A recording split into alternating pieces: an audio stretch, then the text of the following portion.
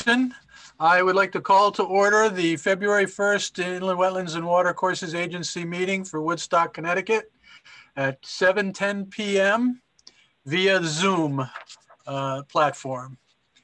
Um, Like to start out with having a roll call um, of members present.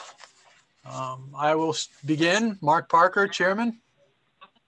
Bill Rowinski. Marla Butts, Secretary. Sorry, Bill. It's okay. And Jay Swan, ex officio, sitting in. Present. Okay, very good.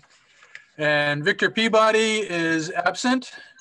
Uh, We need to follow up with and see what his status is. Um, uh, Tina, maybe you or or Jay Swan could try to get in touch with him in the next week or two, or before the next meeting and see if he's still planning on being on, on the board or what. So, I have reached out to him on multiple occasions through email, phone call, and Facebook. He's not responding. hmm. Okay, I'll uh, follow up on that also. We have had this issue with a number of uh, uh, individuals on various uh, boards and commissions. So, and I know Tina because she usually copies me on her communication, but I will follow up also and try to get a, a definitive answer. Okay, thank you. All right. Action on minutes of the previous meeting from January 11th. Um, I will begin. I did a quick read through. And um, on um, members absent, Victory Peabody. So I need to cross off wa- the Y. So it was Victor Peabody, not Victory. Um, and on page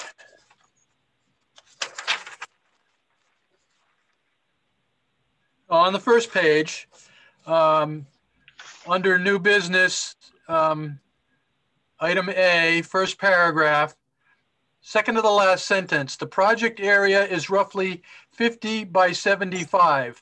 I think it's feet, right, Marla? It should be 50 by 75 feet. That's correct. Okay, so like insert feet uh, there, okay. All right, do any of you have, uh, did you catch anything?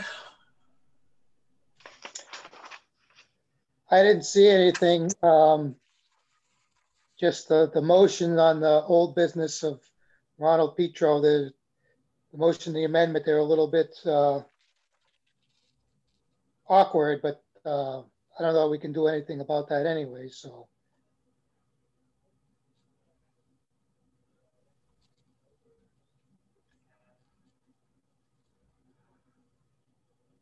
I think that Marla Butts speaking, I think that that's okay. I think we can keep it the way it is. Yeah, I It's mean, clear that he could dredge dredge the pond, but not place the pipes or fill any wetlands. yes, I agree with you.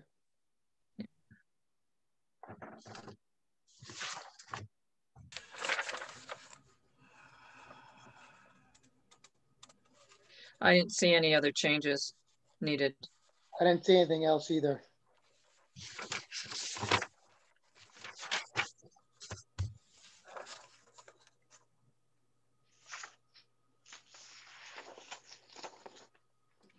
I move to um, approve the minutes of January 11th, 2021 with the two modifications noted, taking the Y off of Victor Peabody's name and adding the term feet under new business application 0121-01, 50 feet by 75 feet. Second by. Motion's been made by Marla Butts, seconded by Bill Rowinski to approve uh, the minutes of last month's meeting with the two corrections. All those in favor signify by saying aye. Aye, Aye. Aye. Aye. Thank you, Jay. Uh, I was going to say that, Jay, because you were uh, in attendance at last month's meeting, uh, you would be able to, I would consider you eligible to vote on, on those because you were there for that, for that meeting. So, so thank you. Um, Also, since, since you have a simple majority, I think I may abstain because I, I told Tina earlier, I went through a lot of your documents for tonight's meeting and they were, uh, they're extensive and it would take a long time to try to absorb them. So I think um, I may abstain from most of the votes, just to let you know. Okay. Thank you. All right. Next item on our agenda, under new business, uh, we have application 01-21-07, Stephen C. Kirchie, Kirchie, um, zero, Little Bungie Hill Road? Is there, is that really zero or should it be, let's see. Let me look at the application. Uh, Should it be? You know, a lot of times, uh, they, when there's no building there, there's no lot, there's no street address assigned until there's a building on it. So there, it could possibly be a zero and not get assigned until Yeah. there's a building permit issued. Well, I'm, I'm looking at the permit application and there is a, an address, 23 Little Bungie Hill Road. We, we have the map block and lot on here. I think uh, the person that filled out the paperwork just put zero because there is no house number yet. Okay. So it's lot OE 73. So why don't we, why don't we put, type that, put that in? Okay, so that'll be lot zero or OE, OE 73. OE 73, okay. Okay, new single family home with well and driveway. Okay, do we have anyone here at tonight's uh, meeting to represent this application?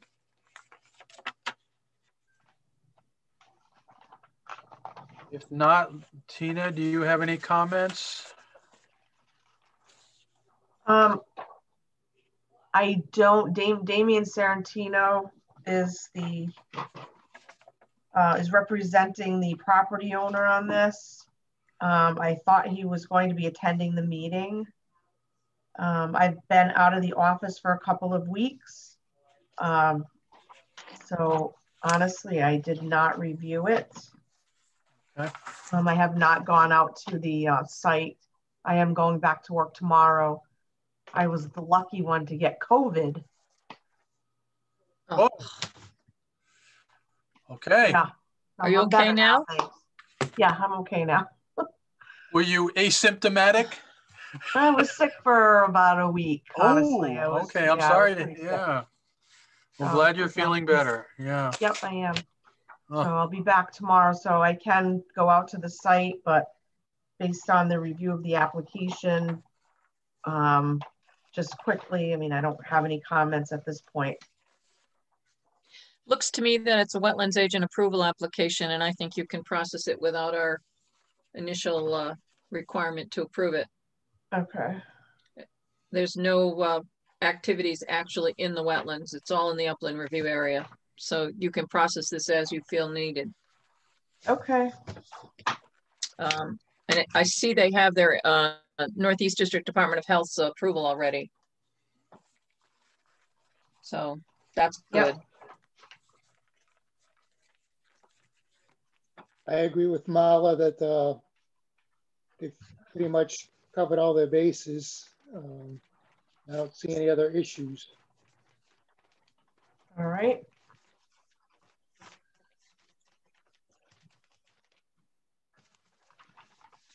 I don't think we need a vote on this. Just, No, we'll it just- automatically is a wetlands agent approval application. Wetlands agent, you know, right, so let the, uh, the minutes, uh, reflect that we recognize this as a wetlands agent, uh, approval process.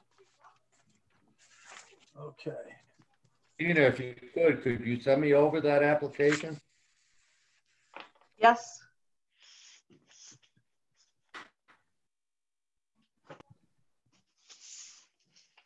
okay.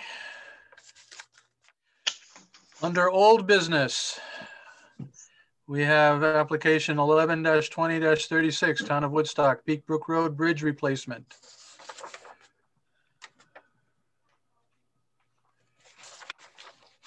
Okay. Do we have any extra submittals Uh, on this? Mark, You go ahead, Marla. um, this was accepted back uh, in November. So with the 65 days plus the 90 days that the governor's office gave us in the executive order, we still have plenty of time to process this. I believe last month it was um, waiting for some perhaps revisions to the plans because uh, DOT came up with some additional information. So I don't think that came in. Correct, Tina? You, you probably, if you haven't been in the office, you haven't I seen haven't that. been So in. Yeah, I happened to bump in, yeah, I happened to bump into John Navarro um, last weekend, I think it was. And, and he mentioned that he didn't have the answer yet, you know, that he didn't have the updates yet. So I think we just need to table this to next meeting. Okay.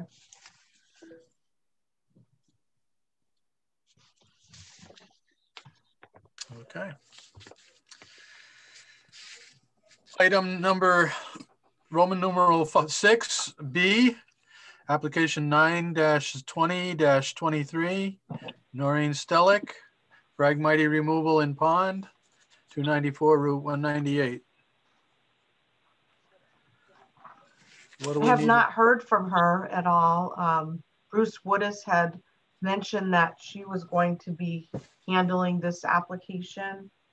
Or I, I think both of them, actually. He was not going to be uh, signing in to handle anything on this. She was going to handle it to try to get some direction, but I have not heard back from her. Um, I believe we did send her the agenda. And I know she was away for last month, so I don't know how much time we can push it out. So this one would have been uh, accepted on September 14th, um, Yeah. According to my records. So September, October, November, December, January. So we're, we're close to the end of our timeline on this. Um, for the 65 days plus the 90 days that the governor gave us. Um, I, I've been thinking about these two applications. I really don't have a problem with her application because her pond is a, a hole in the ground with no water in, no water out. The only question was, is where was she gonna take the spoils? And they shouldn't go in wetlands. I don't have a problem, to be honest with you, granting her a permit to remove accumulated organic material from the pond, providing the spoils are not placed in any wetland and that proper erosion and sediment controls are used during the disposal of those sediments. I do have a problem with the next application though, for the other pond cleaning. Still staying on What do you guys think? Uh, this is Bill Rowinski, still staying on Noreen's. Um, the other thing is if they uh, make sure everything stays on the property and they're not traveling on the road to get to another part of the property. That would be one thing that I would like to see. I think we discussed that before a little bit. Yeah, I, I, think there was a discussion about that, that she was looking for a place to put it on her own property, the ex, excess materials. The, um, the question was whether she was gonna have to drive out into the, into the street to do the disposal, because there's an old wood, according to the map that was supplied with the application, there's an old wood road between her barn and the pond. And if she uses that to gain access and to dispose of it in a non-wetland area, then that would be all right. But I, you know, since Tina was gone for a month, we could let it go one more time. Um, because I don't think this one's a problem. And she, she's not gonna be doing the dredging now anyways, not with the ground frozen. So you could ask her to give us a s- an extension of, of, um, thirty days? Tina?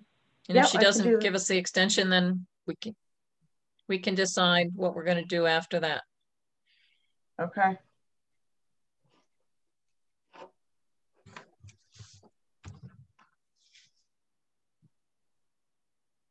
So for the record, application 09-20-23, uh, where we are asking the applicant uh, to um, apply for an extension uh, so that we can put this on the plate for next month.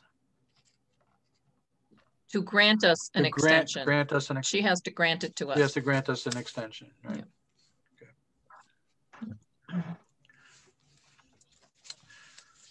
All right, great. Would we also be, uh, Bill Rowinski, would also be requesting the location of where she's putting the spoils and how she's gonna get there? We talked, that was one of the reasons why we were holding off, because that was what we had asked for a couple of months ago. Yeah. So if you could transmit that to her, Tina, also, Mhm. that we need, we'd like that information. Yep, Yeah, and if you could just let her know that if she can do that, keep it on her own property and not go out on the road, then that would set her up for a favorable, a favorable vote when we bring it up next month.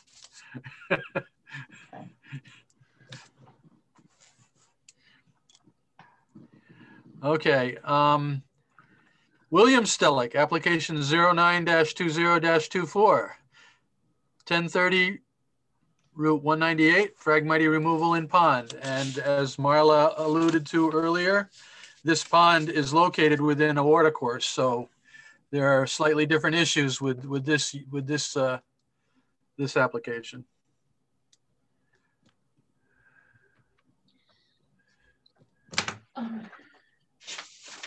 Rowinski, we don't have any uh, additional information or plans on how that could be accomplished, both in uh, retaining the, where the water, how the water is retained and how to manage the water during that process and where to put the spoils and et cetera.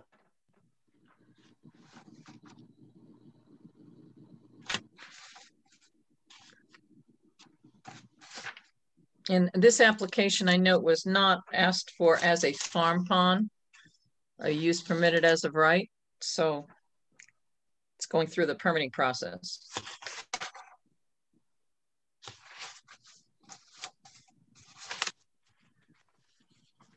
And did this come in at the same time as um, Noreen Stellick's? Because are we, are we at Yep. the end of our, yeah.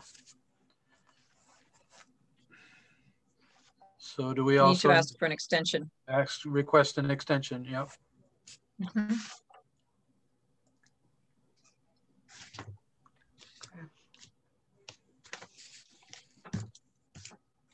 Okay. Okay, application 01-21-01, Lawrence Aqua- Aqu- Aquarulo, uh, 32 Lakeview Drive, shoreline cleanup. Uh,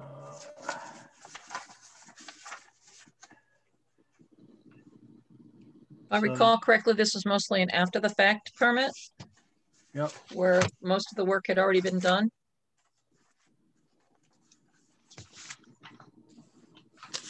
That is correct.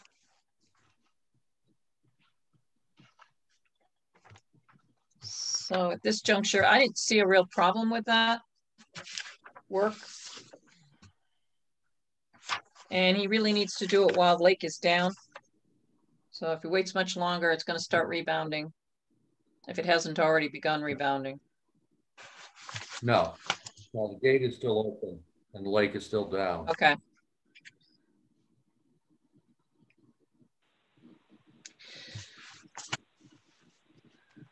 so is he waiting? I don't have on, any pro. No, that we just accepted it last month, so we can approve it this month.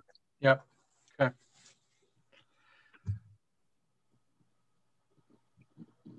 So let's, let's give him the go-ahead so that uh, he can get to it while the lake is still down. I'm open for I'll a make a motion. Go ahead. I'll move. Bill, why don't you do it this time? I did the last one.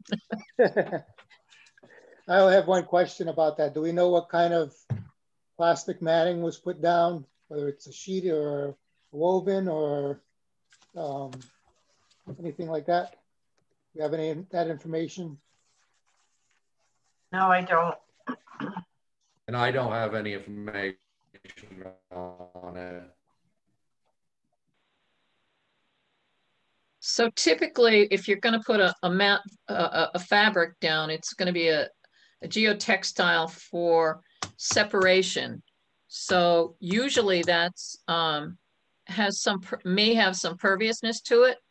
It's usually like a, a um, like a, um, a plastic webbing. It's not a, a, a it's not a, a, a solid sheet usually if it's a, a separation geotextile. And that's what I would assume that they're using. I wouldn't think that they're using a, a, a, black plastic, although you can, we could approve it on the condition that it be a woven geotextile um, um, soil separation fabric. Well, what was the purpose of it? Was it just simply to separate the substrates? Or was it to also What- prevent, prevent rooted uh, uh, aquatic vegetation from coming back up through? I, I think in a, a situation like this, it's to stop if you walk on it. You don't want to push the sand and have the muck or uh, materials from below to come up through the sand. Right, You want them to stay separated. The, no matter what you do, vegetation is going to try to grow through it. Even if it was a, a- single plastic sheet. What the homeowner did was remove the leaves and debris from that area. And then is attempted to put in basically a sanded swim area.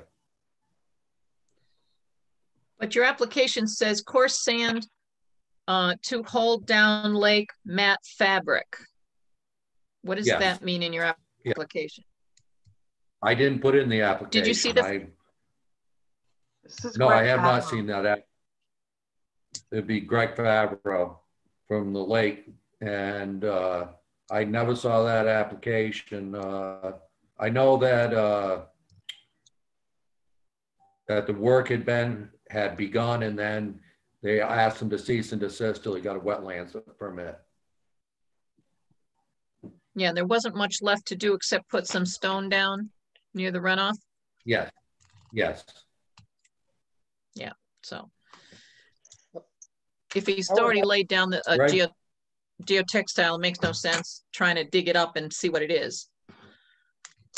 I would just let it, uh, Sun- Sunset, Sunset Landscaping did the work. But I would like to see perhaps some documentation of what actually, was put down. That would be my only uh, request. Well, an option then is, is to approve the application on the condition that no further work uh, be granted until such time as the geotextile that was used uh, be identified and supplied to the wetlands office. Okay.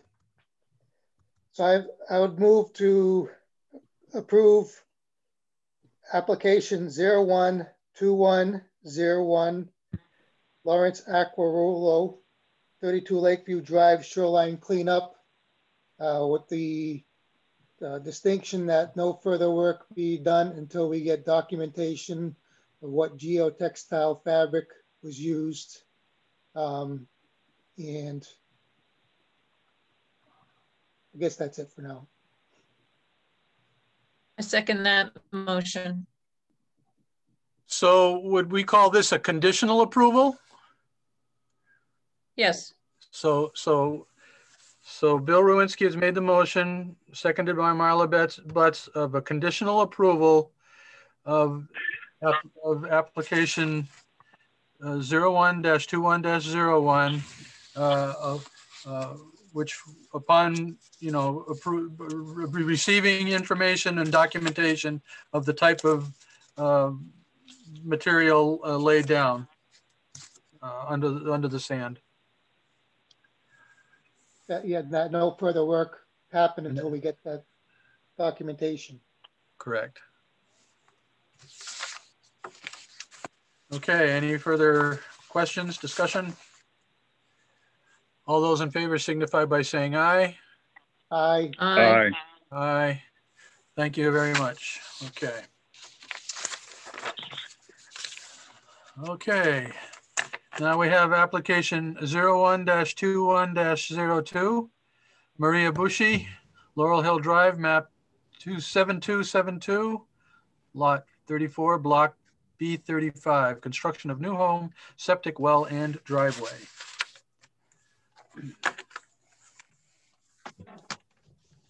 Uh, good evening, Paul Terwilliger from PC Survey Associates, representing the Bushies. Um, la- last week, I'm sorry, last month, um, Miss uh, Butts had requested an alternative to what we had planned. Uh, she had marked up a drawing and sent it over to us. Uh, we reviewed the drawing, and rather than go through a whole detailed um, redesign of the site, we addressed the immediate concerns that um, came up with with her proposal. Um, it was reviewed by the site engineer Norm Thibeault from Killingly Engineering Associates, and we've submitted uh, to the commission a um, uh, his letter of letter of his findings. Um, basically, I, that design, whereas it would move the house further from the wetlands, it, it would pose more of a, a danger to the safety of people driving in and out of the lot due to the short length of the driveway. There wouldn't be room for a turnaround, so they, in essence, have to back out into the road.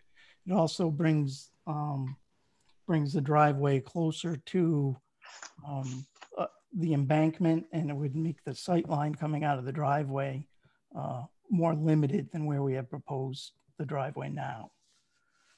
Um, so that was a couple of reasons we had discounted that type of alternative in the beginning. Um, I might want to note that this plan that you have before you actually is our second alternative.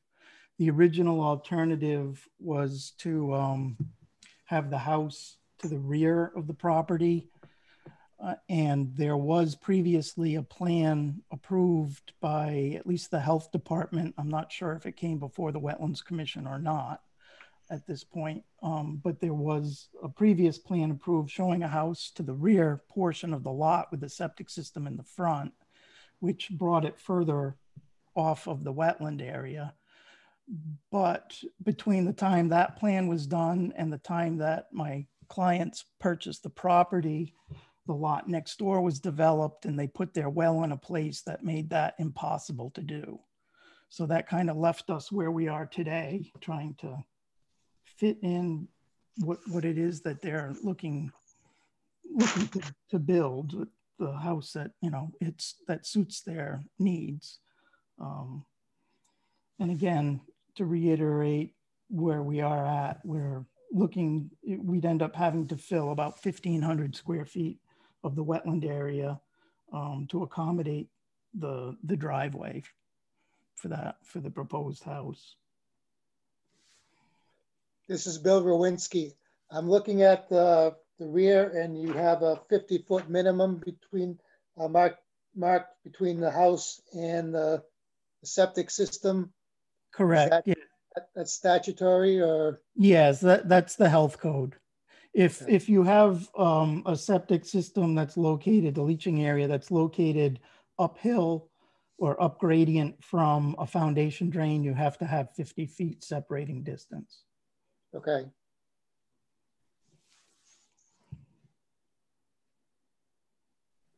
So I have one question, um, still. I, I understand, uh, Killingly Engineering's, Norm Thibeault's, um, response. Um, I'm not sure that I understand about the retaining wall being more extensive because there is a retaining wall there already. But I, I'm not a traffic expert. It's a private road. It's the owner of the private road, I believe it's the Lake Association that has the decision to make on that. But I do have a question and a concern about the fact that there's filling of wetlands on property that's not owned by your client, but is outside of the property lines uh, and in the, um, the roadway of Laurel Hill Drive, which is where the proposed cross culvert is for the driveway. Mhm. Yeah, Uh, does your client have permission um, from the owner of Laurel Hill Drive to perform this work? um, I had posed that question to my client and she had gotten into contact with the Lake Association, but I don't know, she never got back to me with what the answer was. They do have a right of way over that road. Um, if they need access to that road, I would think that they would have to be able to do what they need to do to get that access. If that means Well- filling wetlands. Um, a Well- right of way is a right, right to cross. It doesn't necessarily mean it's to cross it at whatever con- is convenient for them. And the fact that they're filling wetlands in that right of way, um, we don't have their, their deed stating what that right of way is, nor do we have anything from the owner of Laurel Hill Drive to state that they are on board with this work occurring on their property, which is actually filling wetlands on their property. Right. Um, so I, I don't think we should take an action on this application, but give the applicant a chance to provide information regarding uh, what permissions they have received from the owner of Laurel Hill Drive um, to fill wetlands on their property. If not that, then at least provide the language for the right of way to show that they have the rights to do this on somebody else's property. This is Greg Favreau from the Lake Bungee Task Force. I'm, I'm the new acting uh, building chair. Uh, I spoke with Mrs. Bushy on multiple occasions. She is very upset about this. And she's blaming the lake on the wetlands area. And granted, the drainage off of Oak Drive definitely uh, has an impact on that wetlands, but I don't know how much besides that, how how much other groundwater is in that area. They've done extensive tree work on that property. They took in, they took chips and filled in the wetlands with the chips so they could drive their skid steer on it. Uh, I did send Tina some pictures of what the current drainage looks like during a rain event. And there is no way she's requesting that I put in some type of drainage to divert the water from the back of the lot and to dry up the wetlands. There is no way I can access that without going through the middle of the wetlands. I don't know, I don't even know how I would get equipment in there to do the work. If they were to Um, fill, Let me ask they- you, are, are you authorized? Um, is it the Lake Association that owns the, the road? yes, the tax district does. Okay, It's the taxing Actually- district, has the taxing district given you the authority to sign off on things like this? To do work on the tax Yes. association's property? yes. Okay. So have you given any approval at this point in time for them to? No, I was. I've been waiting to find out if this filling of the wetlands would be approved by the town. There's no silt fence up in place. You don't, there's no even delineations now left of where the silt fence should have been erected. So there's no clear definitions of the wetlands. So I'm kind of in a sundry that, you know, and I don't know what they can do to clean up what they did into the wetlands. When I spoke with Mrs. Bushy about it, she informed me that the tree company that did the removal told that, told her that they, uh, wetlands did not apply to them. Okay. But I, what I hear Marla asking Bill- is, there's a, there's a portion of the wetlands that are not on the Bushy's property, but on the, the Laurel Hill Drive slash tax dis- district section. And it's that particular area of the wetland that the, the tax district, the Lake Association needs to approve. I mean, if they don't want to fill in their portion of the wetland on the road portion, then, you know, we're, we're not going to, I, can't see uh, me as a, as a, a, an admission, uh, an agency agent giving approval if, if the, you know, the tax district doesn't want to fill in that portion of the wetland that's on their property. Uh, I'm not opposed to it as long as they put in some type of drainage to drain that waterway. My concerns is that the path that the water currently makes goes right through the middle of that wetlands. And if if they're going to fill that in, you know, I want some type of guarantee that you know they'll be able to either put a curtain drain up or something to divert the water. Other than that, I I, Paul Terwilliger, PC Survey Associates. Um, like to address a couple of the issues. Um, the, we, we will be, with us filling the wetland, we're filling about two and a half to three feet at the, the highest point. Um, that's gonna create, in essence, a wall for the water to be following the toe of slope. So that will divert the water in the direction of that catch basin in the area where we're filling. okay. So that in itself will, should alleviate some of the uncontrollable flow that I haven't, I haven't firsthand seen, but I've seen pictures of that um, Mr. Favreau is referring to. Um, as far as um, I, I think he had mentioned that Mrs. Bushy had said that she wanted the Lake Association to build a, a, trench or something in there. I'm not aware of that. That's not that's not my version of the conversation with her. Um, she was willing to do what needed to be done, you know, to alleviate the problem within limits without, you know, spending a fortune to fix what is ultimately the responsibility of the person draining onto her property. Um, we'd like to work together, you know, with the Lake Association on this. Um, we're not looking to come in and cause problems by any means. Um, Now, the cross sections that you're talking about filling in, that goes almost right up to the drainage easement. It is, well, you say drainage easement. The, the drainage easement, you have a drainage easement that's five feet wide along the, um, the south boundary of the property. Yes, yes.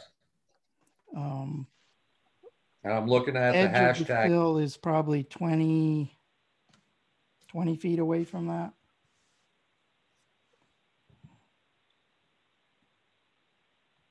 But And the you also drainage have easement another doesn't five follow feet the on water on the course. Neighboring property also to work with.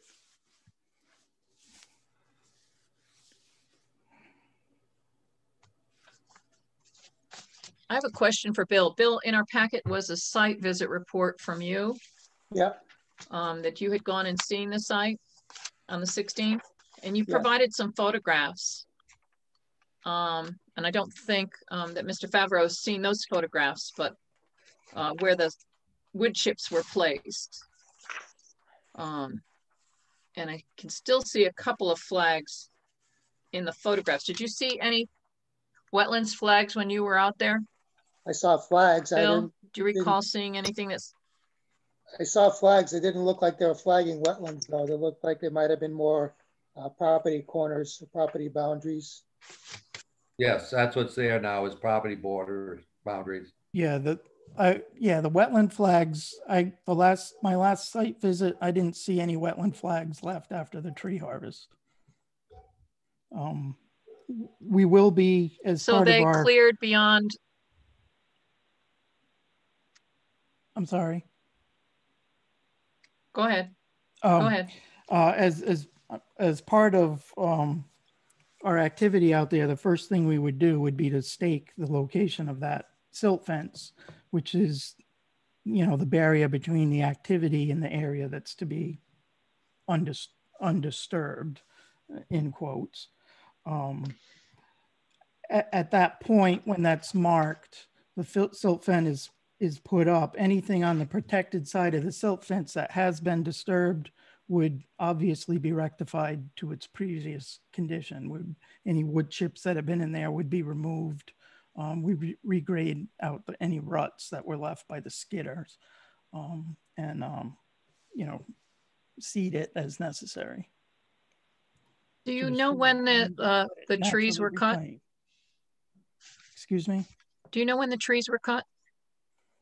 I believe it's been over the period of time starting back in December. Um, they were out there finishing up last, was it a week ago Friday? So from the pictures that Bill took, it appears that they already cleared the wetlands that are part of the application. So they were already doing work in wetlands. Um, they before they got like any they, approvals. They cleared trees in the wetlands, yes. Um, have you spoken to your client about why they went ahead and did that before they got their approvals? Uh, yes, I did. She had said that at the beginning of this process, she had called the town and spoke to three different people on three different occasions and told them she wanted to clear the lot and cut the trees off the lot and was told that it was okay to cut trees on the lot. You didn't need any permits to do that. Did, did she give you any names? No, she didn't. Of the people that she spoke to at town hall? No, she didn't. Well, without being able to verify that she spoke to particular individuals, it's kind of hard to know. and the fact that on your site plan, you show wetlands delineated. They um. She should have not gone in the wetlands until after she got an approval in any case.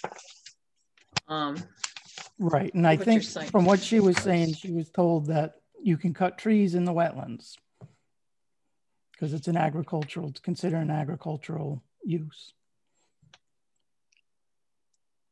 No. Uh, not really. She has no agricultural activity there. Well, I know. Unless she's harvesting timber, that's different. And there's a form for that for getting permission to harvest timber on your property. I and you'll find that on the website. She, she, was going by, you know, what she was told by the town and what she was told by her forester or whoever it was that she had taken the trees out. So that kind of leads us to where we are now, and we're trying to get out of this mess. Yeah, it is a mess.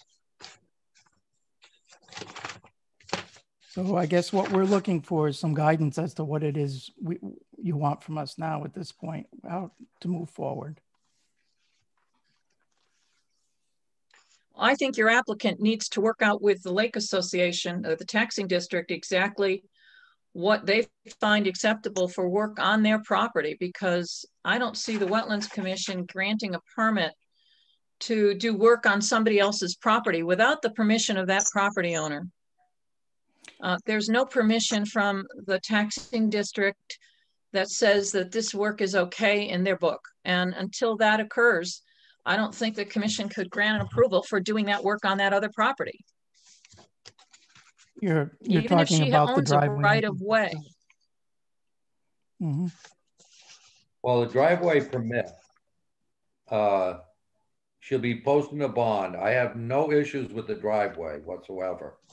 Uh, I did talk to him about the uh, drainage pipe underneath the driveway, and I really have a preference of not putting a drainage pipe underneath the driveway. Uh, it just creates another issue of creating a drainage swale, going in, maintaining it.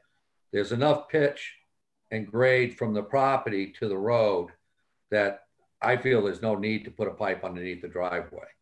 Uh, the water should be able to flow by fine.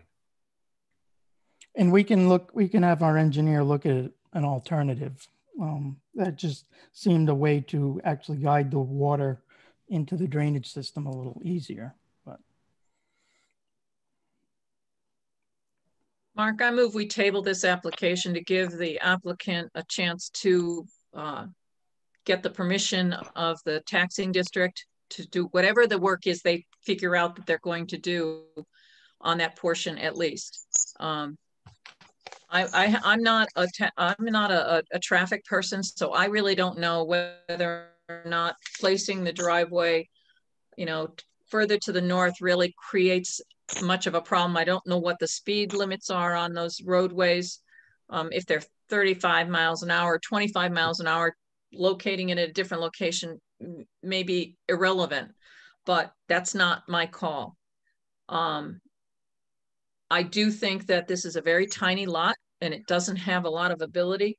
Um, and I think they're maximizing the footprint of the house to have a three bedroom house. I understand why they want a three bedroom house, but maybe they should have should have bought a bigger property. But needless to say, the issues with the ownership of the work that is occurring on the taxing district property has to be resolved before we can grant a permission. I, that's my opinion. So I, I would uh, request that we table this application to next meeting to provide the applicants representatives to come up with some kind of solution regarding the work that's on the taxing district's property. Can we, before the next meeting, can we come out and delineate the driveway? So at least then we can get a, a good rough idea where the driveway is going to be. Oh, yeah, that can, that can be done. Um, weather and ground conditions permitting. Yeah. Just let me know when that's, that's occurred. And then I can, you know, then go out and make a judgment. As far as filling in the wetlands on the edge of the, the Lake District's property, I have no problem with that. Uh, my only issue, like I said, is, you know, is I don't want to end up having the homeowner, once this is all completed, come back against the tax district and say, you know, you need to put in all this drainage work. Yeah, I mean, that And I sounds like think what more of an issue you need- between the Lake District and the uh, Yeah. homeowner. Because I don't, I don't know, if I don't know if even the inland wetlands would permit me to put in drainage through that wetlands. You're not the one asking for the permission. It is No. the, ho- the prospective homeowner, Yes. but they correct. have to get permission from the property owner. Okay, My advice would be is find the plan that you think is acceptable and then put in writing that that plan is acceptable. They can submit a revised drawing showing whatever that is, whatever it is, and that you cite that plan and whatever revision date is in your approval for the work to occur on the taxing district property. Okay, Have that as part of the record for the application, and then we could move forward with how we're going to handle this. okay, great, not a problem. Bill, do you have a second on that table? Bill Rowinski seconding Marla's motion to table this application. Zero one two two one oh two Maria Bushy, Laurel Hill Drive. Okay, and, and uh, Greg and Mr. Terwilliger, you both have enough information now that you know what you need to do? Yes. Yeah, I believe so. Okay, Um, good. My only, my only question was about the um, activity with the tree harvest, if there's anything that needs to be done between now and the next meeting. I mean, I I don't know what we it. could do. It is what it is at this point. Um, I wouldn't touch it. no. Don't touch it, because clear cut, clear cutting, complete clear cutting of a wetland is not necessarily a, a use as of right. Yeah, you, you need permits for that. Yeah. So they, they need to stop until this is approved. Correct. Yeah, and it's, that work is done. It's, Yeah. it is finished. I know Mr. Favreau was um, requesting a silt fence be put up. Um, At this point, I don't think that would do anything. That's normally done after you cut the, clear the lot and before you Right. start the ground activity. So I think it, to wait until after our application is through the commission would be best as far as putting any silt fence up. All right, I'm comfortable with that. We're not proposing activity on the site at this point until we get approval to do so. I'm comfortable with that. Okay. All those in favor of the table signify by saying aye. Aye, I, Aye. Aye. Thank you. Opposed? Abstained? So moved. We'll Thank you. talk about this next month. Very good. Okay. Moving on to item Roman numeral seven, review of bylaws. Um,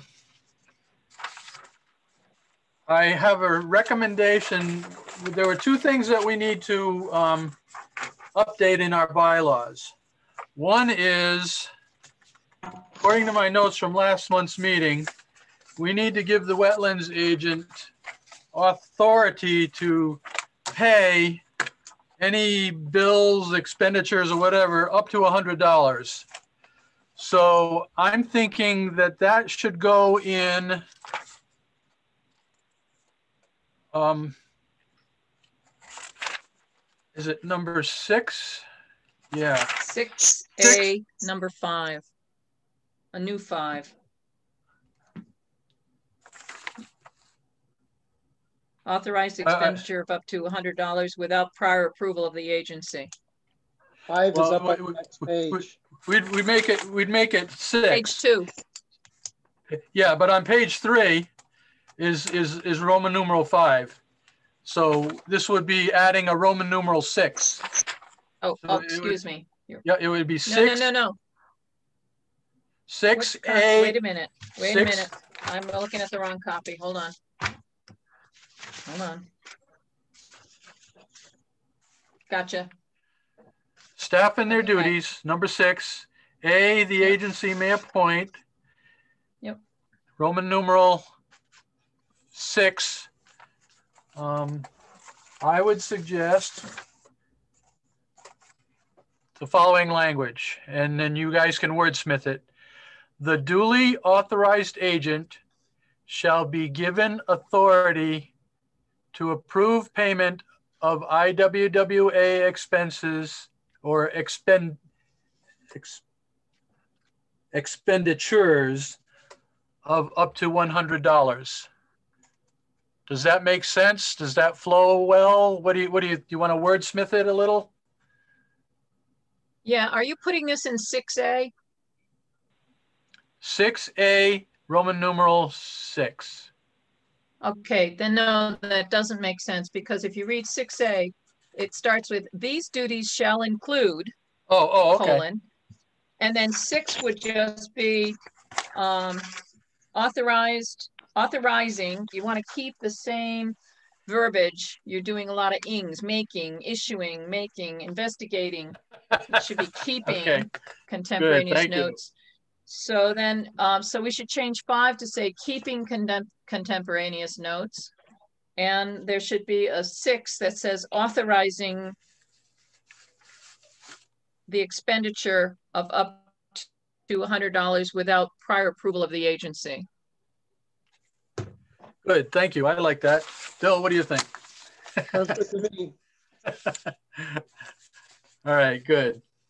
If you're going to, if you're going to do that, then I also would like to change item B, the next paragraph below, to where it says such report shall include a list and description of all determinations, approvals, put a comma in and add expenditures and activities performed. So we should know what she's been paying. Such report shall consist Such of a report shall consist consist of a- list of a list, description of all, a determinations, list and de- description. Yep. Slash approvals, comma, comma, expenditures, expenditures. comma, yep. And Expenditures, just finish com, with yeah, yeah, and and activities, activities performed. right.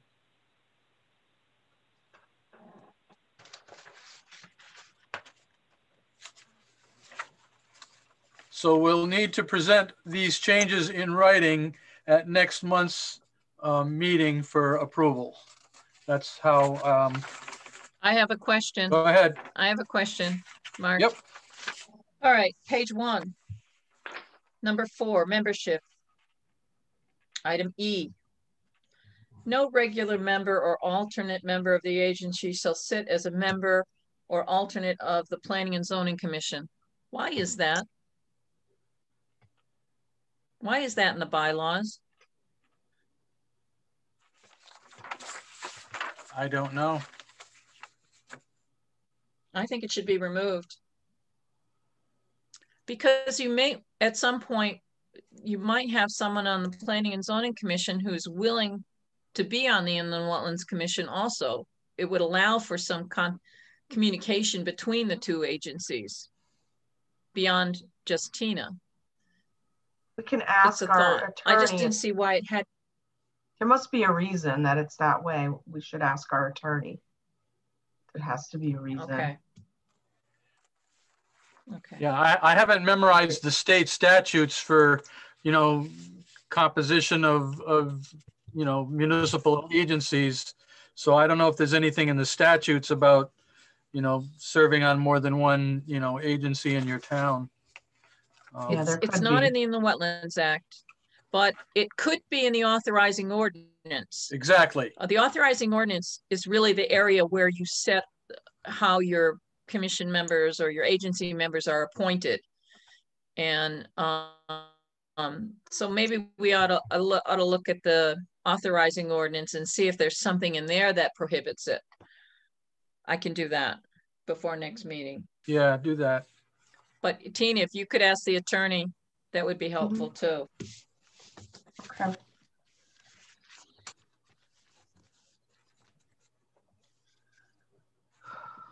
Um, I'm gonna make another suggestion. We've been having a real problem of getting commission members. And we had the same problem in Thompson where they didn't have any alternates. They, all they had was seven members and they couldn't get seven members. They could get four. So what they did is they ended up changing their seven members to five members and two alternates. And so then a quorum would be three if all you could get was three. Um, but they could have up to five. And typically, there are people who are willing to be an alternate but don't want to be actual members. And those per people, like Stuart, actually got put in repeatedly. Um, but that's a thought, but that means you have to change the authorizing ordinance. But is that something that you would want to consider, considering we haven't been able to get seven people, much less an alternate? Yeah.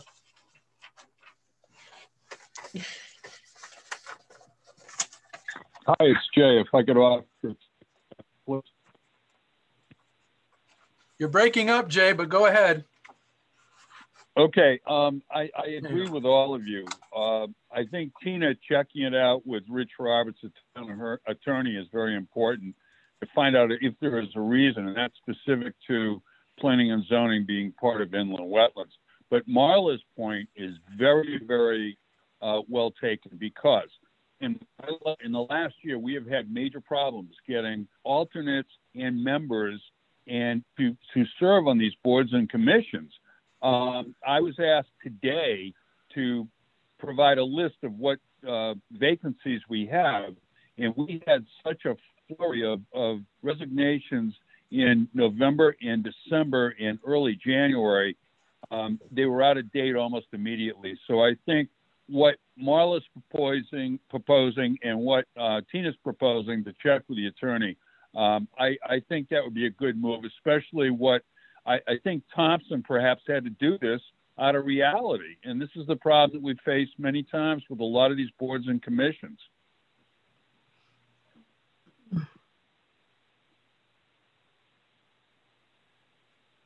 Yep. So how does that, uh, Bill, how do you feel about reducing the commission down, the agency down to five versus with two alternates? Well, it wouldn't be my first choice, but uh, given that we don't have, you know, we don't have enough people available, um, just to be able to conduct business, I think we might need to do something, but the numbers are getting small enough that it, we might start running into problems as uh, things being, you know, people accusing undue influence of one way or another just because there's not enough people. Um, the only other suggestion that I that I was thinking of, and this would be a kind of a desperation, is that since uh, the first selectman is an ex officio member of all the boards and commissions, could there be a way that he would, we could appoint him as an alternate um, through some of our bylaws to allow him to be an alternate, thereby being a, a voting member? Or being able to be seated as a, as a voting member?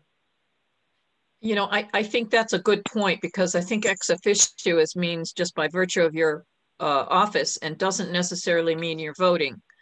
So if we were going to change the authorizing ordinance to drop it down, you could also make that change at the same time is to add the, you know, ex officio shall mean, shall include, ex officio members shall be voting members. I mean, I, I don't, I, I think you'd have to breeze it by the town attorney though. Or it could be a different uh, member of the Board of Selectmen.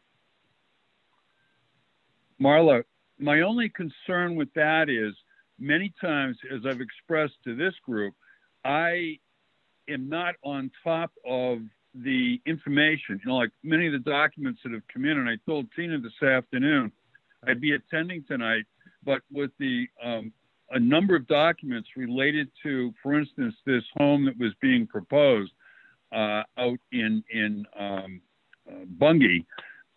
I to absorb all that information was was almost impossible for me this afternoon.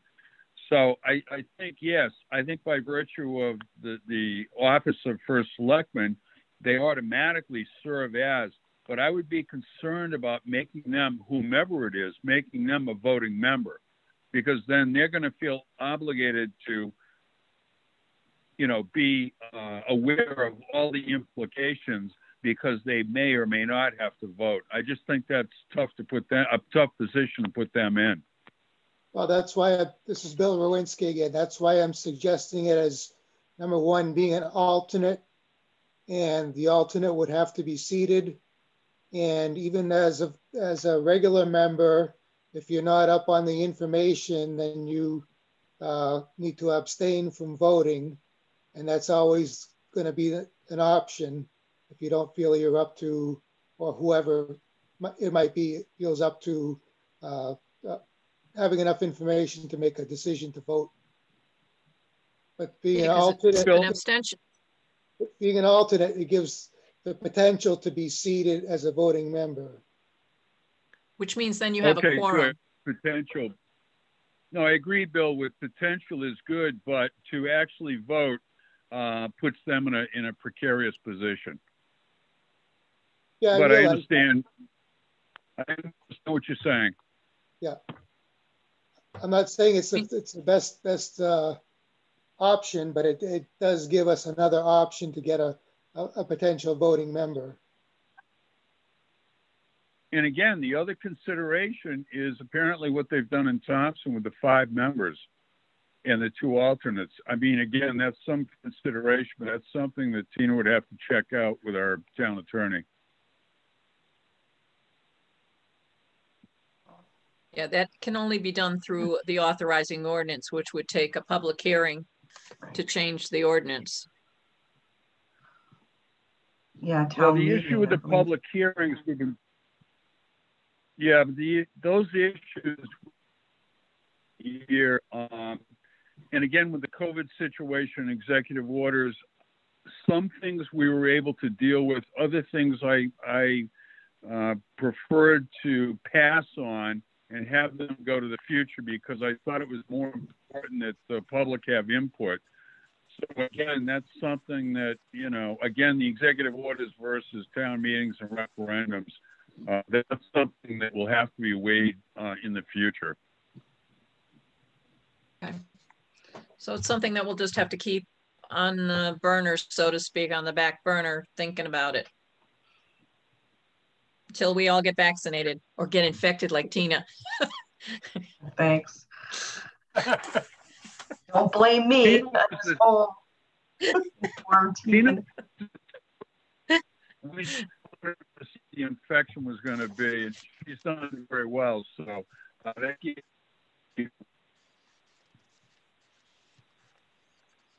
We lost you.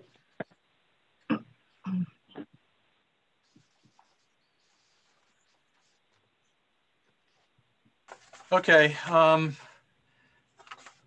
I've Um, oh, Mark, Mark, Go ahead. Mark, Go Mark, ahead. one more thing. got it. Page seven, item seventeen, amendments. These bylaws may be amended by a two-thirds vote of the agency's entire voting membership. So what does that mean? Do we need to look at changing that to, for the bylaws, just to make it a simple majority of a quorum? Because right now, the membership is supposed to be seven. Two thirds of seven would be at least three. Yes? Or four, four.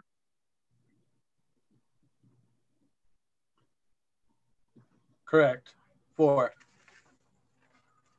So I think we should change item 17 amendments. Remember, these are bylaws. They're not our regulations. It's a little different. Right, right. I think we could do that, change that to um, maybe amended by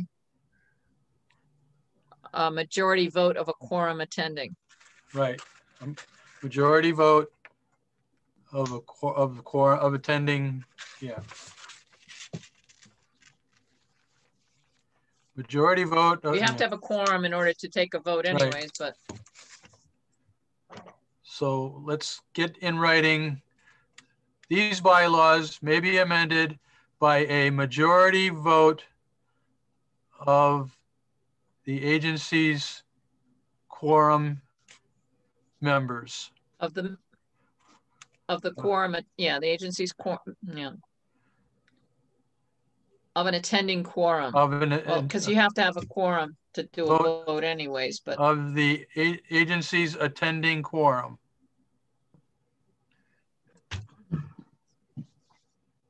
Okay, and then the rest of that can remain the same. Only after the proposed change has been read and discussed at a previous regular meeting. So what I was hoping to do was if we could get in writing at this meeting and, you know, talk about it, and then next month, present it again and, and vote, vote on the changes. Otherwise, we, we present it at next month's meeting and then we've got to wait another month. Because we can only vote on it if it's been, you know, presented in writing and discussed at the previous meeting. So maybe we should just do it that well, way then that means, Let's, let's, then then that means that, well, if I'm, we're, Tina's got to go check on, on the membership of the Planning and Right. Zoning Commission. Yep. So, so um, yeah, if, we'll, if that's going to be removed, I mean, I have no problem if it gets removed for the next meeting. If she says it's okay, if she says it's not okay, or she doesn't got an answer, then we'll just leave it alone. We'll leave it in. Yeah, okay. So, yeah, so we'll, we'll get all these changes or unchanges presented at the March meeting. And then we'll, we'll, it'll, we'll, we'll all discuss it, you know, whatever. And then at the April meeting, we'll be able to vote on it and make the, make it official. Just one more thing. This is Go ahead. Um, I was reading a resource on Robert's rules and it talks about making a provision in the bylaws to meet by video conferencing to allow that to be one of your mechanisms. Now, we're, we're doing this now by executive order of the governor, but we wouldn't typically probably be able to do that legally if we weren't under that executive order. Do we want to think or discuss about making a provision for uh, doing some sort of a video conferencing meeting uh, if it, the situation should arise that we need it? Yeah, I was going to propose that under section eight, meetings, that we create um, a new letter. I think it would be I. So 8I would read something like this.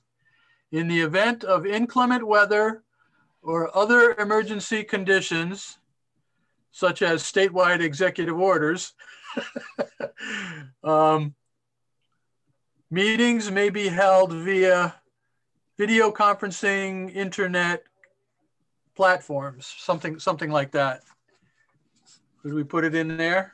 Would that, would that make sense to put it in that section? Uh, yes,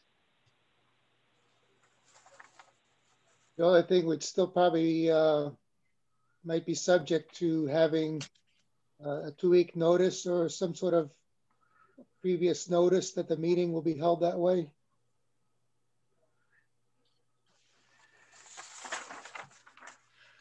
Right. well, it's, that's, that, that, the location of the, of the meeting is actually placed in the agenda. It's required under FOIA. So on item C, notice of the meeting, uh, other than a regular meeting shall specify the purpose of such meeting and no other business, shall- oh, no, that's not it. Um,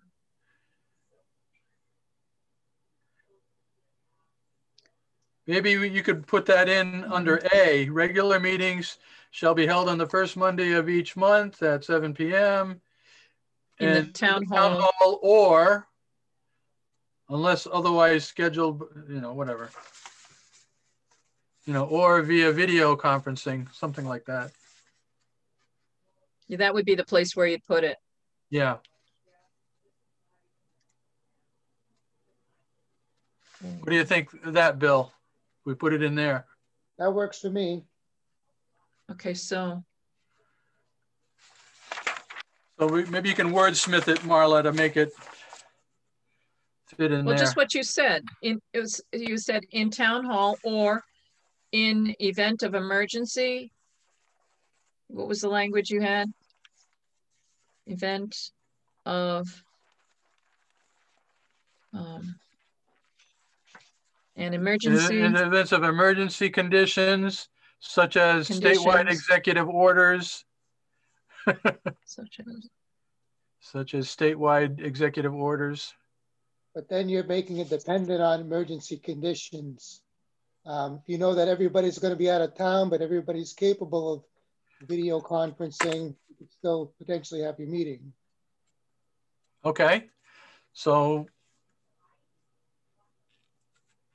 so leave it open then. uh, That Just it's leave it uh, open. at town hall or by, or by, or by, uh, Video conference. what conference, do we call this? virtual meeting. Is it- video It's not conference. really, a- or virtually, yeah.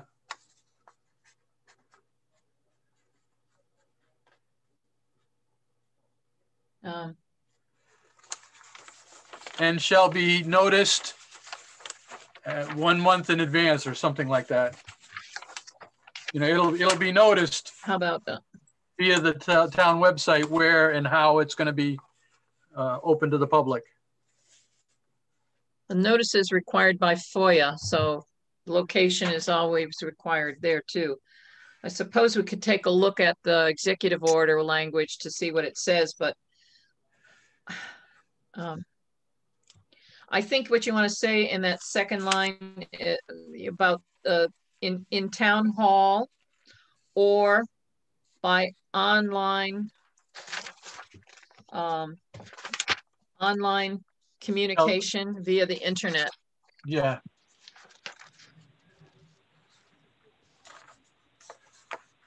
That- Your agenda has to be posted 24 hours before your meeting. On your agenda, it gives a location of where the meeting is going to be. So I would be concerned about posting it a month ahead of time if you were going to go virtual. So give yourself some leeway because, again, something may come up at the last minute. So I think, and again, this may be something that uh, Tina can check out with our town attorney. I think whether or not it's going to be virtual or not could be part of your agenda. And I believe that's only posted uh, 24 hours prior to your meeting. That's correct. But Right. the only thing is, is, is the, the notice, the only legal notice that is required to be posted, agenda notice, is a special meeting. That's mandated, that it has to be placed on the web. Other notices are not required to be placed it on the web. Regular meetings are not required to be posted on the web under FOIA, not yet at least. So, um, Marla, that's pretty sure that we post all meetings as a matter of convenience, if you will, to citizens 24 hours before. mhm. And it may Mm-hmm. not be required, but I think it's been done, uh, you know, in years past. Yeah, but you don't get caught in a FOIA p- uh, problem if uh, it's a regular meeting and you only posted it with the town clerk and it didn't get posted on the website. So if we put it in the reg, if we put it in the bylaws saying it will be posted and we make that error, then it could come back and bite us. So I think all we should just say here is just that- say that it's, that's at the town hall or by, or online by uh, internet communication and leave the notice silent and let that fall out as how it would normally. Okay, that's fine, but you know, Mark said, Mark said perhaps uh, notice it previous month, and I think you, you as a group have to leave yourselves some leeway in case a quote unquote emergency comes up. So I wouldn't do it a month ahead of time because it, you know, you you all can decide what's you know an appropriate period of time. Yep. Yeah, drop the, drop the reference to the month. Yeah.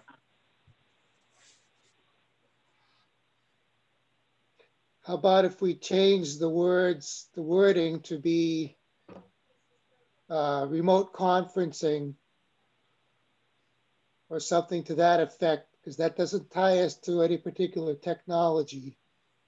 It doesn't have to be online. It could be by telephone. Um, it doesn't have to be video. Um, the only reason why I wouldn't do it by telephone is because you can't have it recorded. You, you have to have recordings of these. And so when it's on Zoom, when it's by the internet, it's actually, there's a recording that's maintained and, and kept up in the cloud somewhere. So we couldn't really just do it by telephone. We have to use some kind of platform that uses the internet that would allow us to have it recorded in some fashion. Okay, that's what it is. and That's what it is. Mm.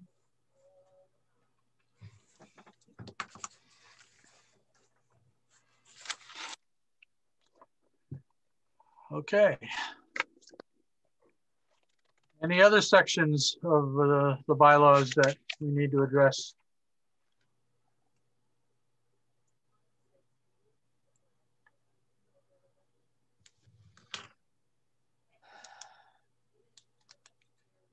Okay. Take a look at item B, meetings. A simple majority of the full voting membership of the agency shall constitute a quorum. And the number of votes necessary to transact business shall be four seated members. Okay, never, that's all right, that's fine. Never mind. I'm looking for anything that requires a two-thirds vote.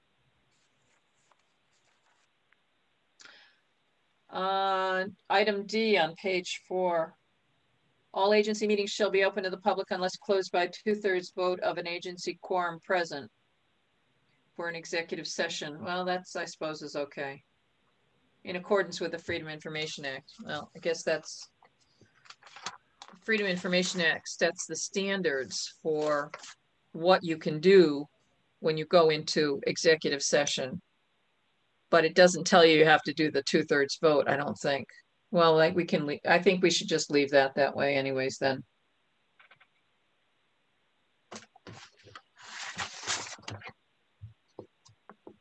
Isn't that enough for now? Yeah, I think so. Thank you. Okay, so we'll bring these forward to next month's meeting and uh, can vote on it in April. Okay. Oh, election of officers. Oh, my goodness. I have to laugh Well, here we are. because we vote ourselves into the same office.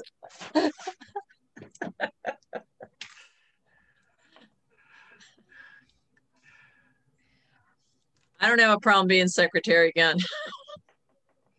I guess I'll be vice chairman as long as Mark's chairman. Yep, I'm willing to go do it again. Sure. I move that the existing slate of officers be uh, elected for another term, another yearly term. Second. By Bill Rowinski. Motion's been made by Marla Butts, seconded by Bill Rowinski to approve the existing slate of officers for the, For another year. for another year. For 2021 and 22, so into 22. Um, all those in favor signify by saying aye. Aye. Aye. Opposed, Aye. abstained, so moved. Okay. And Jay, tell the selectmen we need some more members.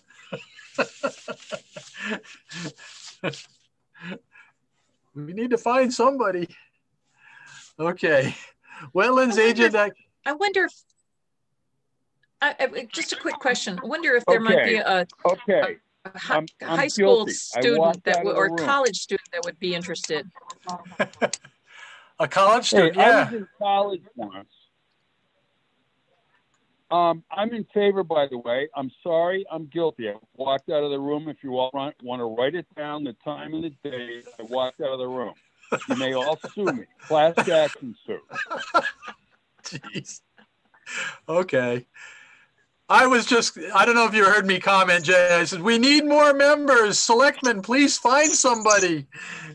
So Mar- Marla suggests maybe there's, maybe there's an environmental or, you know, a biology college student that might be interested in, you know, uh, that the selectmen could find, you know, and, and uh, actually we did have a, a member a few years ago. He was fresh out of college and uh, he served on our, our wetlands commission, but only for like a year or two. Um, but still, that even do, you know that much, it would be a help. So I'm sure there's probably some kids that are going to UConn and they're doing remote, they're really good on electronics and stuff. That would find it like in the, the conservation, uh, at the School of Agriculture, they might have somebody there. yeah.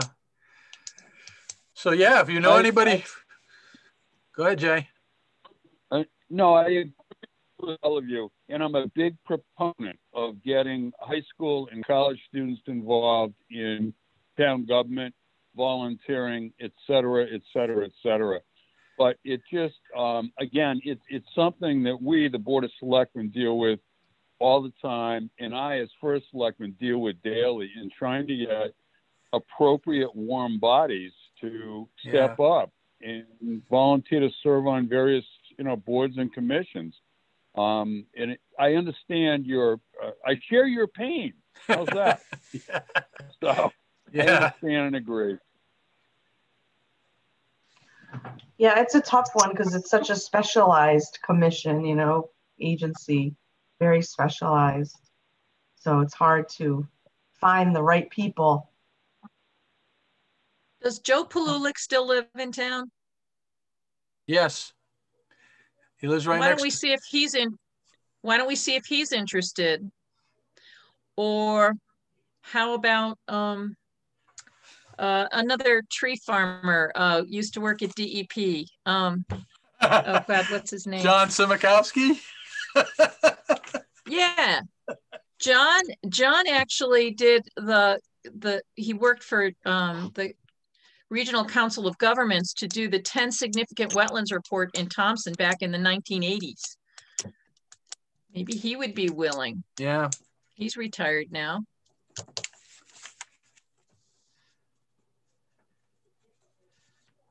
You know, Marla, I resent and think it's very unfair to pick on retired people. I know wonderful retired people that got sucked in. I mean, I'm sorry, got volunteered to do various jobs to serve the community, and I resent your Yeah. attitude. Tell me all about it. Tell me all about it. So John Kowski is on WPCA apparently. He just, he was just appointed for WPCA. But I can check with uh, Joe Palulik. I still have his contact information. I'll reach out to him. Well, he's a he's a, a civil engineer, so it's a skill Yeah. set that would be of value. Yeah, that would be great. If he still lives in Woodstock. Yeah. Okay. I asked Charlie Cady to uh, join, but he was more into the economic development. He really, although he would be great on this uh, agency, he, he declined. He wants to do the economic development route. So I'm trying. All right. Well, Wetlands Agent Activity Report. So um, as you know, I have not been in the office for quite some time. Um, I have not, uh, there probably are some wetlands uh, applications on my desk. Um, I'm planning on going in there tomorrow, so you'll have a full report at the next meeting. Um, a few things that we do have, um, we did receive an FOI request for all information relating to 119 Crooked Trail Extension. That was the investigation into the co- copper sulfate. So um, Cindy and I will be working on that this week. Um, it's an attorney out of West Hartford. I'm not sure who she's representing. It doesn't indicate it on the document. Um, so I'll keep you posted on that. Um, and I also have, we're in the process of, I don't know, did you have any questions on that before I move on to the other? Yeah, did you send them the four-day letter? When you get a FOIA request, you should reply within four days to tell them that your research. I, I did email the uh, attorney to let her know we would be working on it. I didn't send out a give her letter, an but estimated? Yeah, but did she communicate by email to you? no, she sent a letter in. Yeah, um, I would send a letter back. Um, and give her an estimated timeline that it would take for you to assemble all the uh, figure out exactly. Do you have any question about what she's asking for? First of all, Any and all correspondence, documents, meeting packets, inspection summaries, notes, field notes, memorandums, laboratory test data, laboratory test results, studies, opinions, reports, findings, records, drawings, maps, materials, information, photographs, any and all other documentation pertaining and or related in any way to the use of copper sulfate at 119 Crooked Trail extension and the effect or lack thereof on Witches Wood Lake in any abutting property or properties. okay. In your reply to her, did you give her an estimated time that, that you might be able to get back to her on? Um, I have to check my email as to what I responded. Um, I received this, well, it came into the town hall on January 21st, Okay. which I wasn't So- there. Yeah, I understand. So what I would do is I would send her a very brief written letter. You could send it PDF email, but I Okay. still would send her a brief letter and, and explain to her that you had COVID and that you were not in the office and that you anticipate X amount of days. It would take you at least X amount of days to be able to give her an idea of the number of pages and the amount and the cost for that, uh, to respond to that FOIA request. Because you shouldn't be sending her anything until they agree to pay for it. So you're gonna have to count up all the different items to figure out, and that's gonna take you a while. And given that we have COVID and you have limited hours, give yourself plenty of time, but you really should send something to her in writing, even if you send a scanned copy electronically Okay, of a letter, a, you know, a hard copy letter. Only Oh. because FOIA gets really picky about stuff like that. oh, okay. Um, all right, I will look into that. I do see, um, I responded on January 20, 26th. when I did receive it. I had gone to the town hall and picked up a lot of my things um, that Crystal had given me so I could work at home. So yeah, I'll address that tomorrow. Um, that it may take some time because there were a lot of documents relating to this Yep. over a matter of what, six months. Um, Was she just asking for those that were in the wetlands files, in the agency files, or was she just saying for town hall? Do you need her to clarify whose files? well, it has to do with the investigation into the copper sulfate and we were the only ones handling that, the wetlands agency. I don't believe it went to anybody Then you should probably include that, that, yeah, you should include that in your letter back to her, that you're only aware that the Wetlands Commission, or the Wetlands Agency was involved in that. So that she Okay. doesn't go looking elsewhere, you know, that if she wants to go look elsewhere, she can go look elsewhere. Send it to the first selectman if she wants. Sorry, Jay.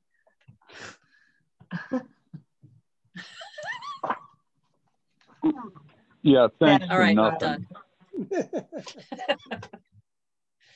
Okay, and then the other thing um, that we have going on right now, as you know, the the uh, gas station was approved, and we have the final plans that um, I have been reviewing. Delia and Jeff Gordon uh, have been reviewing before they actually send in their mylars. There's a lot of corrections. So in our review, I did um, and I'm sure you're aware of this, that one of the they had they had it set up for three um, different. Uh, hold on a second. Let me get the plan.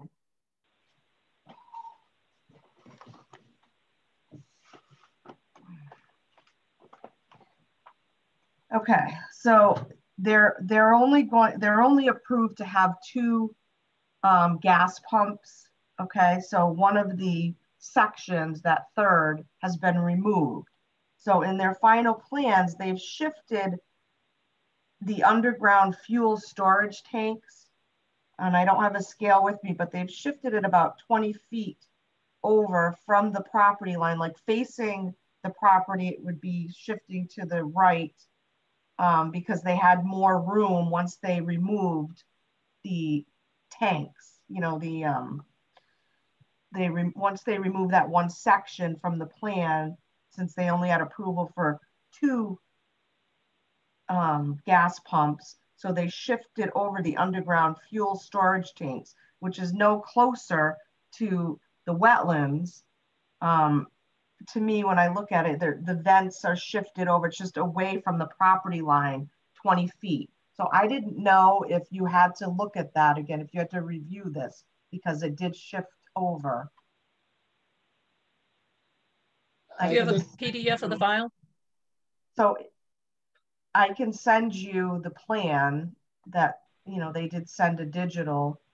And then if you go back into the um, Zoom meetings from August, you'll see the old plan that was online and then you can tell how it was shifted over. Bill I think is it my, my Would be recollection. smart that we. Go ahead, Bill. Sorry. My recollection that it was, uh, approval was conditional, that they'd come back to us with any significant, uh, site changes. That's not the exact wording, but that's, that was a condition of the approval. Yeah, and they, I have the minutes.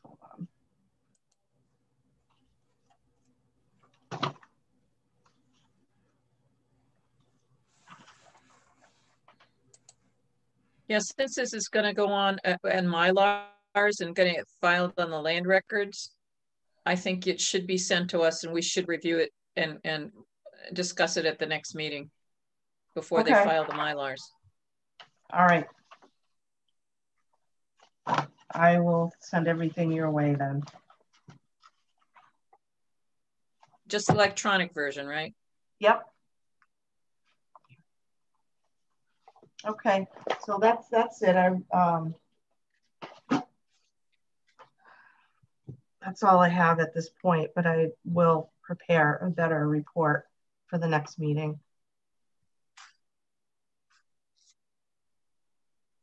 Tina, did you ever get any feedback from Mr. Petro uh, about the decision that we made last month about granting his dredging of his pond, but denying him the the, the piping and the filling of wetlands?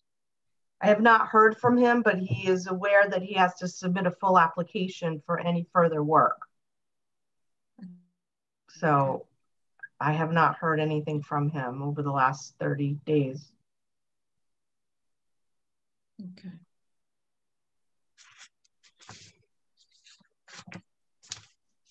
I was going through my old stuff um, and I found, do you remember uh, Jeffrey Driscoll? He was uh, rebuilding an existing retaining wall along uh, of Quasset Road and Quasset Lake. Yes. He was supposed he was supposed to get you a locus map um, before he began instruction uh, construction. Did he ever do that? Um, I had a note that says, ask Tina, did she ever get a locus map to begin construction? I believe so. It rings a bell. That was within the last few months. Um, I'd have to, when I get to the office, I can check, but I'm pretty sure he did. All right.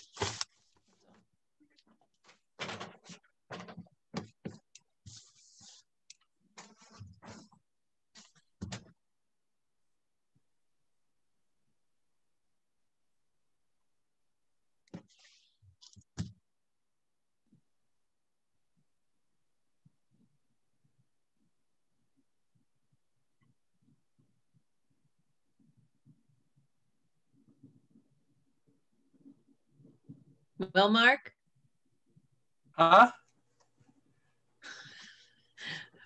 Tina's done. Oh, oh, I'm sorry. Um, I wish I'm I try- had something exciting to tell you, but I don't. Sorry. um, okay. I'm, okay. I got an email. Um, I'm trying to send it to you all right now. Let's see if I can do it right here.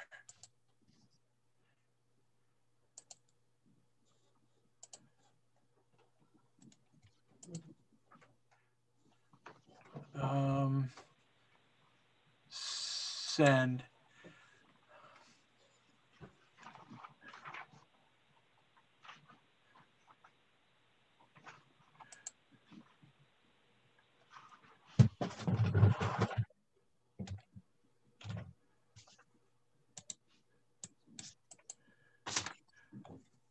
I just forwarded an email that I received from Mara Robbie. She's a member of the um, she's a member of the Woodstock Conservation Commission. And she's saying that she feels that with all the work that Tina is doing and needs to be done, you know, the wetlands agent uh, position, um, that they need more time. And so, um,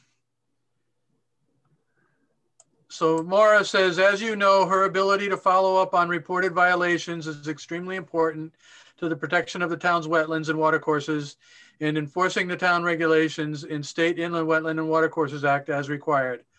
I brought up at our last Conservation Commission meeting that I'd like to support the Inland Wetlands and Watercourses Agency and write a letter of support from the Conservation Commission to the first selectman requesting additional hours be added to the wetlands agent position to be sure she has appropriate hours to follow up on all potential violations. I have heard that the town will be adding an administrative support position in that office and hope that some of the duties will be in support of the wetlands agent agency, among other things. I was also informed this letter may be good timing due to this new position. Please let me know if the Wetlands Commission has any specifics, like how many hours would suffice that we could provide in the letter as well. thank you, and I look forward to hearing from you soon. Now, I got this on uh, January 20th. So I wondered if we just wanted to have a little discussion on, you know, do we want to join in on a letter with the Conservation Commission or do we want to just give them, you know, because she seems to be asking me here, you know, could could we let her know if the Wetlands Commission has any specifics, like how many hours would be sufficient uh, that we could provide in a letter as well. So, um, you know, how, how do you want me to respond to her? Do we want to say, you know, we think that the hours that that the agent has now is sufficient, or do we want to recommend more, or what do you what do you think? I think we have to ask Tina what the workload has been. So, Tina, where do you stand on this? I, I hope that the town realizes the importance of having a fully staffed land use office, not just for the wetlands, but there is not enough time and I don't have the amount of hours to put in and it's not necessarily council. I just hope that they can see for the upcoming year that they really need to staff that office. We do have Cindy on board now who's handling, she will be handling in the uh, new fiscal year a lot more. She'll be managing that office and she will be close to full-time hours and that will be a, a great, great addition to the office to where whoever you have, because I, I don't intend on staying. Um, you know, I'm not, I haven't like given a notice or anything, but I just hope whoever comes after me that they do allow, you know, somebody pretty close to full time to handle what's going on in that office. It's extremely busy. It's not just dealing with the boards and commissions, but there's just lots of problems that you can't respond to quickly. You have to investigate, you have to research. You know, a lot of times you have to, you know, consult with other professionals and it, it, everything just takes so long. So I, I'm, I am frustrated. Um, I don't have the amount of time that really I need to do a great job, you know, I just have to say. So, so I, how many hours do they dedicate now to wetlands? Well, I have um, right now like a total of five a week. You know, th there's flexibility. And oh, God. just... I, I, I have 15 and they're constantly asking me, do you want to do more? And I've said no, because it really is the job just for the wetlands um, to do all the reviews and to do the research is probably at least 20 hours. Um, I'm I'm working off of, of 15 and because I've told them I don't want any more hours than that. And um, it's it's difficult, but uh, that's the way I want to work my personal life too. So um, if you're only getting five a week, that's way under what it should be. Um, it yeah, should actually new, be it's a full-time office plus, you know, between Cindy and the administrative functions mm-hmm. and the, the, person in the um, ZEO and wetlands role. It is a full-time job. And I'm skimping and doing what I can to handle the problems that are before me. But I feel with all of the building that's going on in town, there's just so much activity and complaints have been crazy. And there's just so much that that you can do. There's, you know, so Jay's on the line. Hopefully he has something to add. Well, I'll just say to all of you, um, Tina and I are in frequent, frequent daily contact. I'm very aware of the issues in her concerns. I'm also very supportive of what's trying to be done in that office. And as she alluded to, the amount of building going on in town. So I cannot comment officially tonight. We, um, the treasurer and I and others are very aware of this. Uh, we have proposals that we're working on that will be presented as part of the uh, budget for next fiscal year. um, our budgets will have to go to the Board of Finance for approval. But um, I'm in agreement with Tina with what her concerns are. Um, and there are others in town hall that agree how important this is. Um, I can't officially comment because I can't tell you dollars and cents what's being proposed. I can't tell you hours that are being proposed, but yeah, we're very aware of it, and and you know this would have to be approved by the Board of Finance.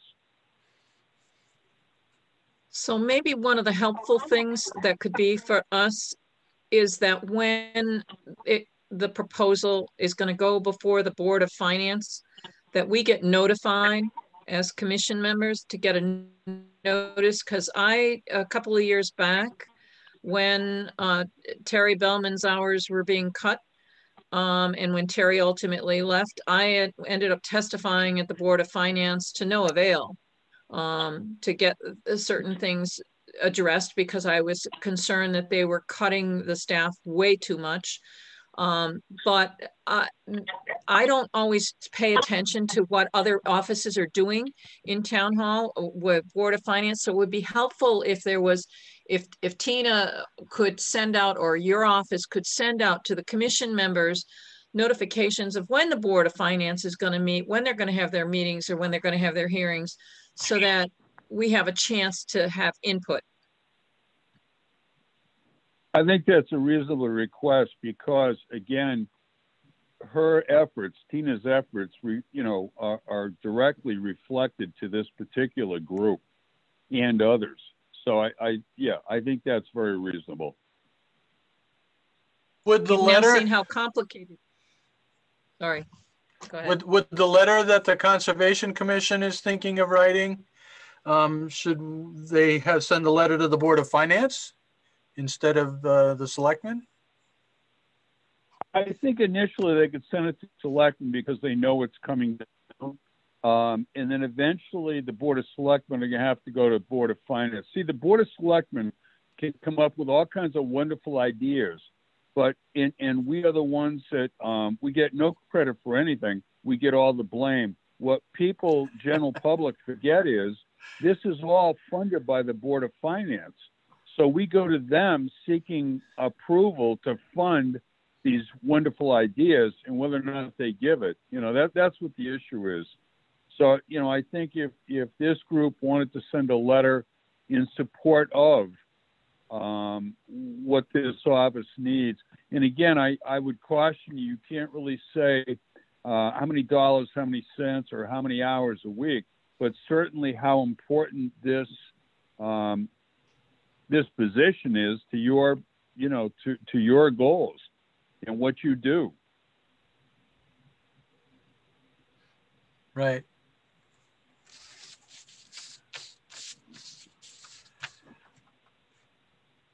But again, you know, uh, just to allay any fears you may have, Tina and I are in contact almost daily um, on this issue. We've talked about it for months, and um, you know, I understand very much, uh, you know, what what she's proposing and why she's proposing it, and I obviously uh, see between her office and the building office what's going on in town and the expansion and building and this sort of thing. So um, yeah, we're very aware of the needs of that building office and uh, land use, et cetera, et cetera. Yeah, and and you can see how important just being the position is like a liaison between the public. You know, when we get complaints, and you know, we've got to go do you know inspections, and then she's got to you know then be in contact with our town attorney, and then with you, and and then maybe even the other commissions uh, in town. So as a real, uh, you know, liaison, you know, and like uh, I think Marla mentioned, you know, research, you know, that a lot of that goes in, and you you see you've seen the the complexity of the documents that are being filed and submitted that we have to review. So you know, yeah. So we'll, we'll definitely make sure that all that kind of information is included in the letter. Okay.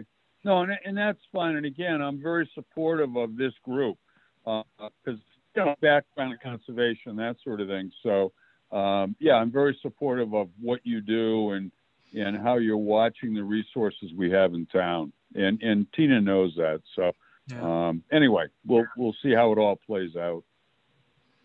Yeah, Just, I, uh, I think, I think the position with everything and all the development going on in town and just the issues, it's expanding. That office seems to be really needing more assistance, whether it be Delia being more involved on that aspect. I don't know if that's a possibility. Um, but, you know, I, I'm very pleased with the town, the treasurer, Jay, you know, being very open to my, what I've been sharing with them because I've seen a problem myself over the last six months, you know, just keeping up. It's, it's been very I was wondering when you were going to say something. Yeah, no, it's 'Cause it's it's, very. It's, I've, I've put in a lot of time. I put in as much as I possibly can, but I'm being pulled in a lot of different directions, and it's frustrating because I want to do a great job. And it, it's it's hard, you know. so I definitely see where this Yeah. is going. Yeah. And you know, I don't see that the future that it's going to be me in that role. I think you're going to need somebody that is, you know, has all of those full qualifications and somebody, you know, that can really take on the environmental aspects. I just see the position, you know, and I kind of was a place filler for a little bit and it's worked out great. But I see that the role is changing and, and the needs of the town is, you know, that it's definitely changing. And- And to get the skill set that the town really needs, it's, it's going to be somewhat costly. I mean, Yeah. y- you're combining a lot of different um, skill sets in there. yes. Um, it's not easy. No, it's not. And, uh, you know, I feel frustrated because there's only so much that I can do. I don't have that whole side of things. I'm not, I didn't go to college for that whole environmental Mhm. side of things. So I'm a Mhm. little, I know. you know, and I'm doing the best that I You've can. been and I trying really hard everyone- though, I, I and you've know, been doing a good and job. thanks. I, I'm doing my best, but I think we're getting to the point now where the town has to invest in that. It's important to the people that reside in town, you know. Mhm. So that's just my opinion. So I respect whatever you come up with.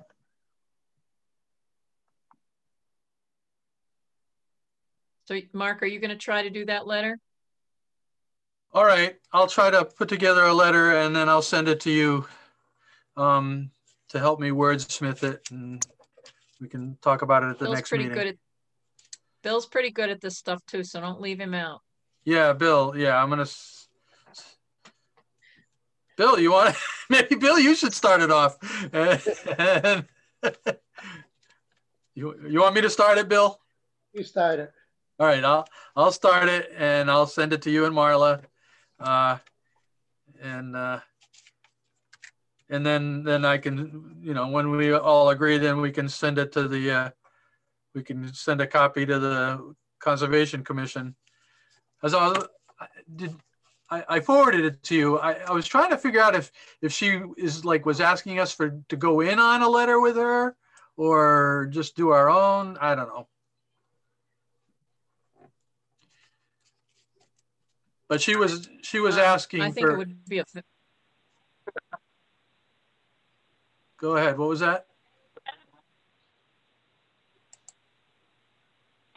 Uh, I, I was just going to say my own personal opinion. You're better off, I think, writing your own letter because if you get a letter with a whole bunch of signatures, I don't think it carries as much weight as two separate letters. And again, that's just my uh, opinion. Okay.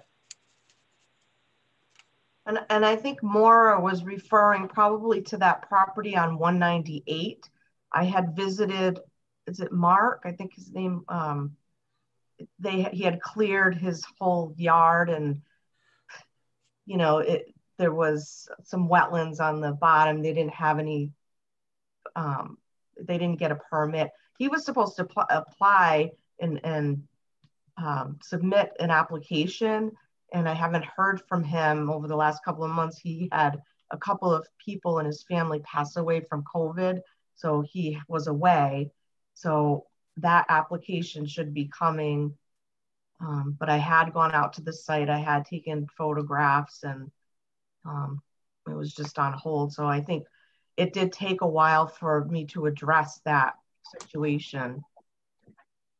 And I think Maura was probably. Yeah, but as long as the, the problem that you're doing is you're triaging and there when you triage you're looking for the things that are actually causing increased damage and those that are kind of static they kind of go to the wayside till you have time and sometimes you never get time and Mhm. you know i have the same issue but I, I think we need to probably look at giving the letter ourselves i agree with what jay said Okay, good. I'll but don't worry that. about those that go away. I mean, that, that kind of fall through the cracks a little bit. If they're really that significant, they will come back as more complaints. The squeaky wheel will get the grease, Mhm. so to speak. Okay. Uh, okay, do we have any bills that we, uh, I think I got something from the treasurer's office a while ago, but it was just a more of a, you know, if I had any problem with it, you know, I don't think they need my, our approval on. I don't have any for you, but yeah, I think they've been handling them directly with you. Yeah, yeah. Okay. All right, anything else? Citizens' comments, uh, any other topics? I gotta go shovel. That's Okay, yeah, Sorry. You gotta I move up. to adjourn. Second, Motion's been made by Marla Butt, seconded by Bill Rowinski to adjourn. All those in favor signify by saying aye. aye. Aye. Aye. Opposed, abstained, so moved at 9:07 PM.